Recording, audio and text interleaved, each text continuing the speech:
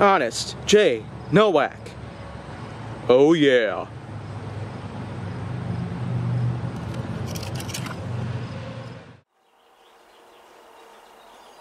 A pleasure to meet all at last, and welcome back to HJN, the original. And now, let's just get on to some more territory revolving around different subjects that I'll have before the next upcoming crossover.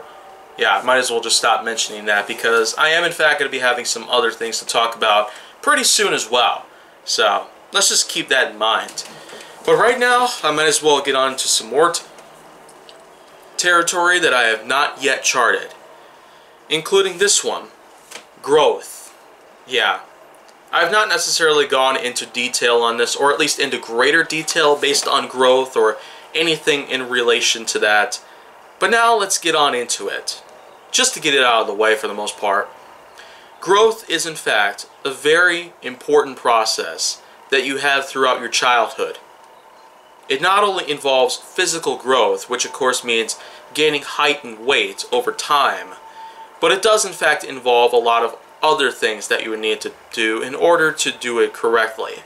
Exercise is one other thing, proper rest, proper diets, and proper many other things out there that you'd have to do in order to have yourself a substantially proficient type of growth process. But there are some times where that may not be as good, and lots of people that don't really seem to have a good job at survival and growth, they can't necessarily do as good as many of us would do nowadays.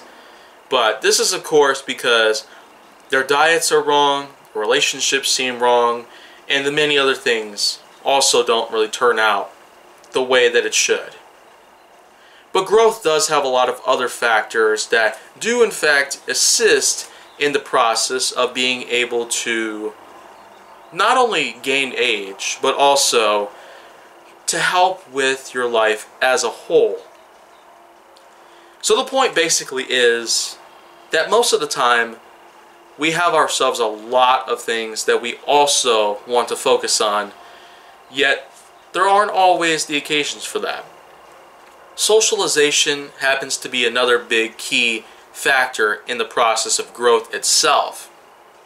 As it turns out, when we go to school, it's not only to help ourselves educate, which will allow our brains themselves to grow in the process of having our bodies grow as well, but it turns out that socialization happens to really allow for extreme levels of knowledge, and not to mention different memories that you can keep with you throughout your lifetime.